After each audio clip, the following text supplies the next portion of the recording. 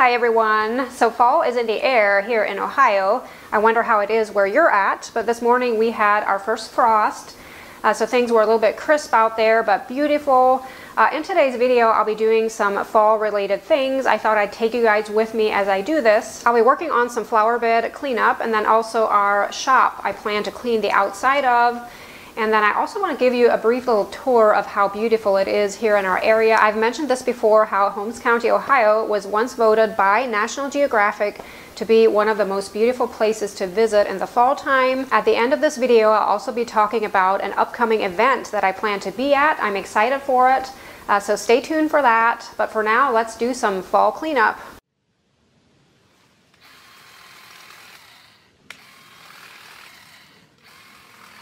My sister Marlene recently got this little Stihl trimmer and she's kindly letting me use it to see whether I like it or not. Um, depending on how well I like it, I might have to invest in one myself. Um, it is cordless, so it seems to be really handy to use.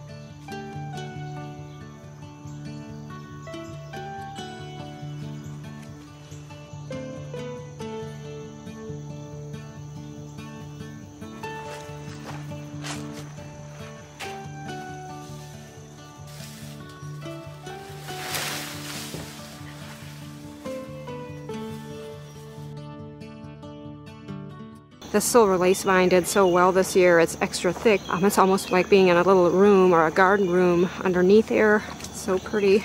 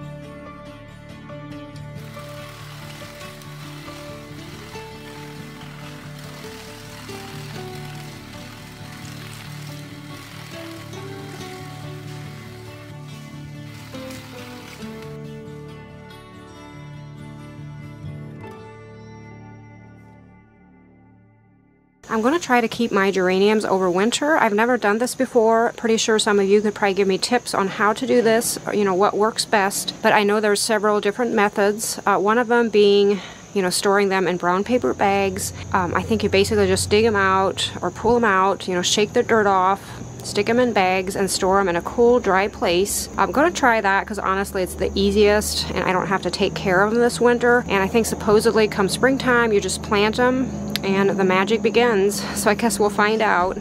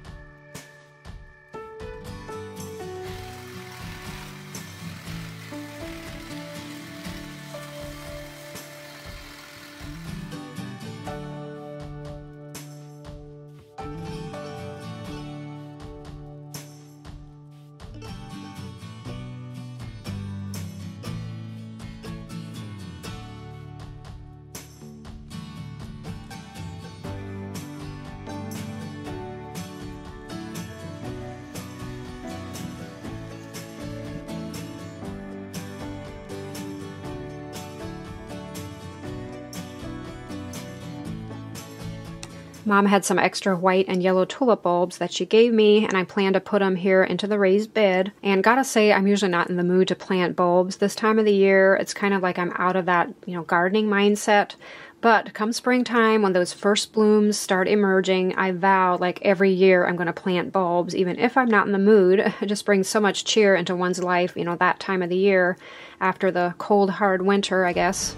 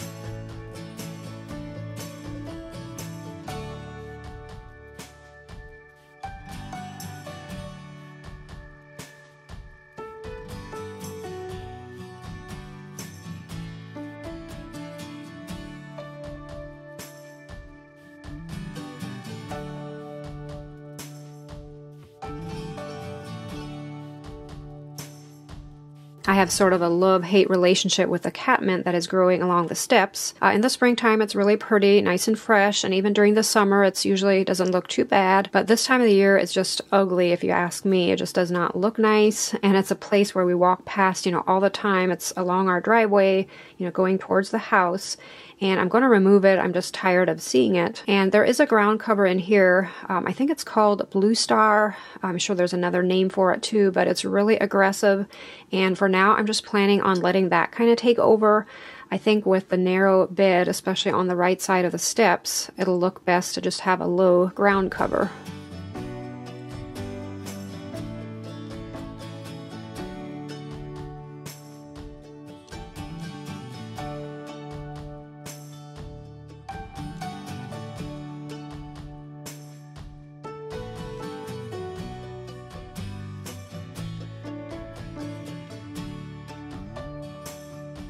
Now it's time to clean this shop front. Um, I really wish I had my soap that is intended for siding. I forget what it's called. I think maybe a spray and wash or a basically you just spray it on, let it set for a bit, and then rinse it off, and the magic happens like everything is nice and clean.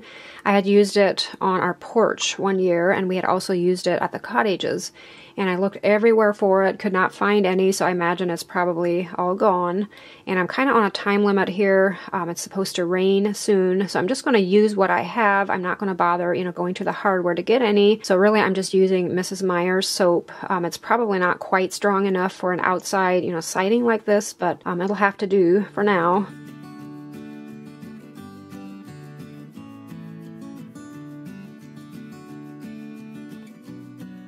I ended up soaking some of the sections with this car cleaner. I know it's probably not the proper thing to use, but it did seem to help um, just to kind of get things loose on here.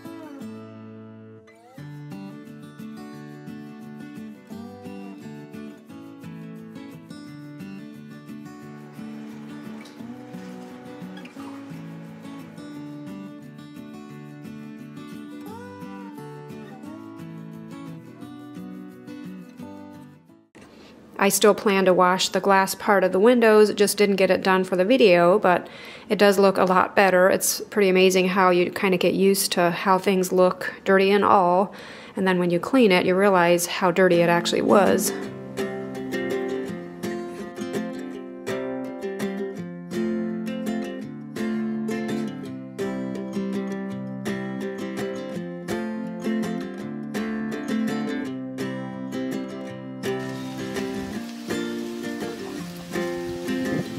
Such a good feeling to have some of these things trimmed and ready for winter. I'm still not quite finished with all of the flower beds. I have the herb garden to do yet and a few places here and there, but for the most part, I feel like I'm kind of on top of things in that regard.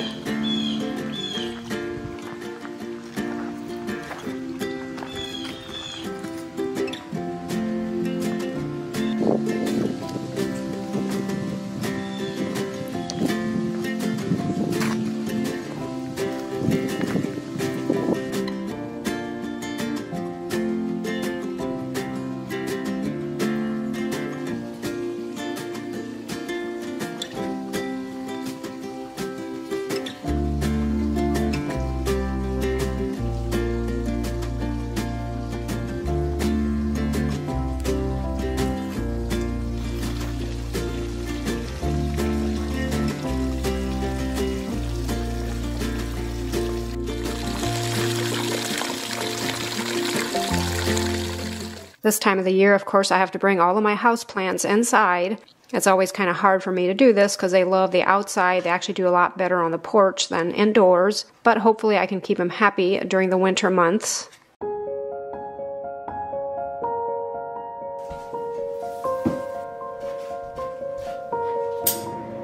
Of course, I go over all of the plants, you know, picking out the dead leaves, and I often get asked, what about little bugs and creepy crawly things that are hiding in the plants? And honestly, I've rarely ever found any, but I imagine now would be the time that they'd make themselves known if there were any in here.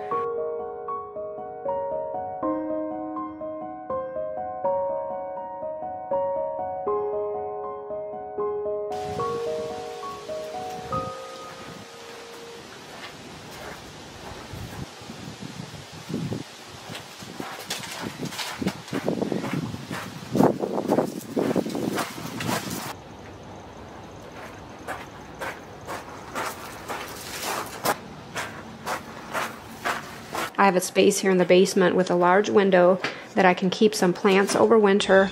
Now's a good time to do some repotting if any of the plants need a larger pot.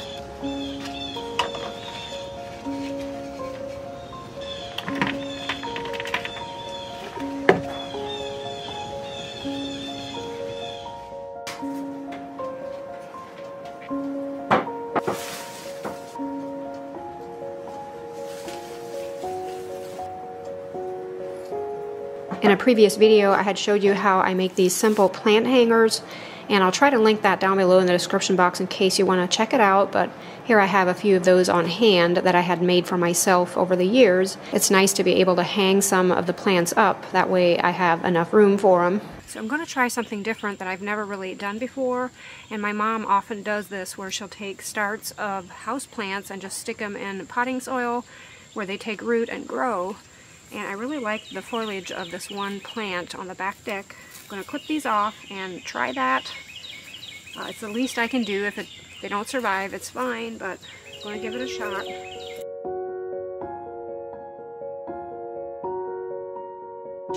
Something's going on in this tree. I think every bird in the area is scolding. I should walk down and see what the fuss is all about in case Twinkle is an instigator. Here's Pebbles, so it's not her.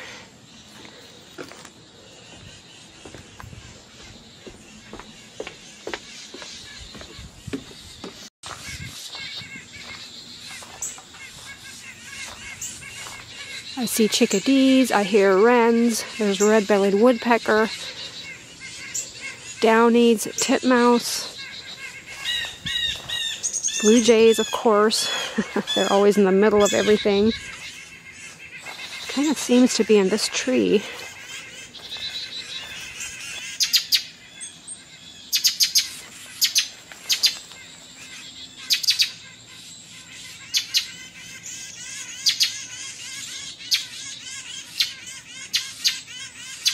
I'm just not seeing anything.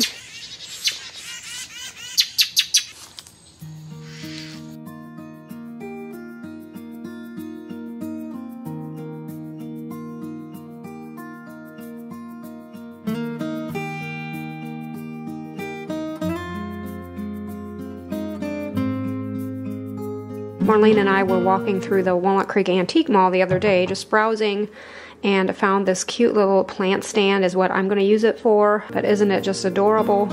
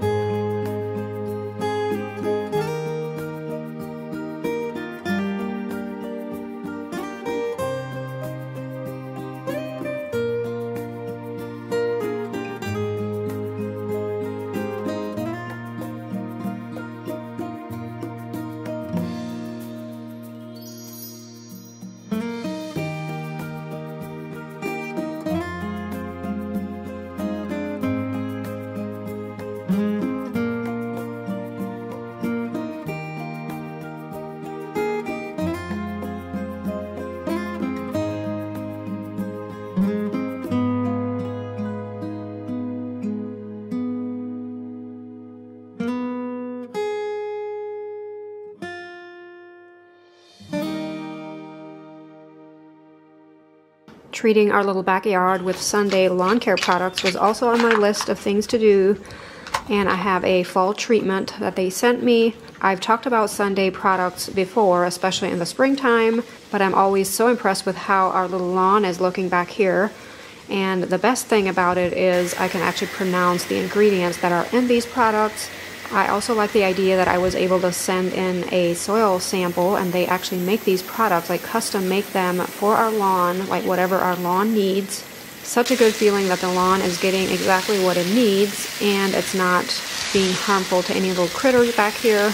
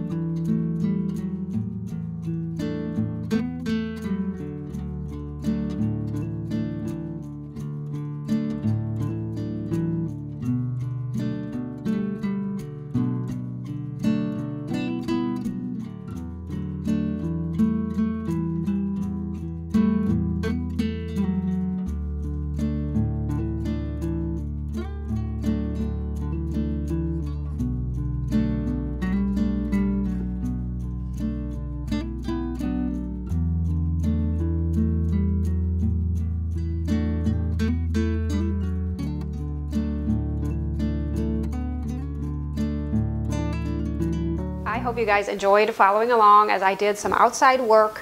Gotta say, so glad that's done. I still want to plant some tulip bulbs, so that is still on my fall to-do list, but still have time to do it. I want to briefly mention our fall candles. Whatever we have in stock right now is what's listed on the Etsy shop. We're going to let them sell out.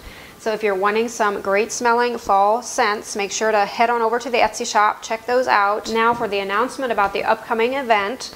On November 18th, there is a holiday experience, is what it's called, at the Heritage Center. And for you locals, you know where I'm talking about. And I'll make sure to have the address down below in the description box. November 18th from 8 to 2. So mark your calendars if you're thinking this is something you'd want to check out. Lots of awesome vendors with beautiful products just in time for the Christmas season. And I'll make sure to share more details in upcoming videos, but I thought I'd put it out there in case you want to plan your November. As always, I hope your day is going great. Thanks for watching and I'll see you in the next one. Bye.